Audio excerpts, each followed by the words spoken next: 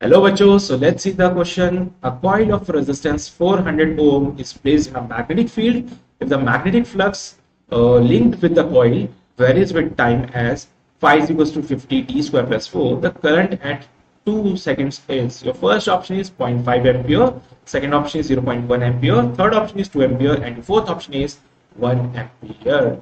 So here in this question, what are the given data? So resistance is given as 400 ohm, okay and the flux is given as 50 t square plus 4 and at the time of 2 seconds. Now, in this question, we have to calculate the value of magnetic flux. Okay, so okay, sorry, we have to calculate the value of current. Okay, so I is equals to 1 upon R into d phi by dt. We know the formula.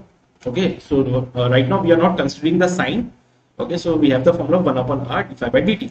So 1 upon 400 d by dt of 50 t square plus 4 इसको further simplify करते हैं one upon four hundred into simplify करते हैं सो ये बनेगा hundred T अब t को सो two seconds पे मुझे इसको कैलकुलेट करना है सो t की जगह अगर मैं टू पुट करता हूँ so this comes be two hundred upon four hundred so जो करंट का वैल्यू मुझे मिलेगा, वो मिलेगा वन बाई टू या फिर कह सकता हूँ zero point five ampere so 0.5 ampere जो कि मुझे मिलता है मेरे ए ऑप्शन में and this is the right answer so I hope you got the concept of this question all the very best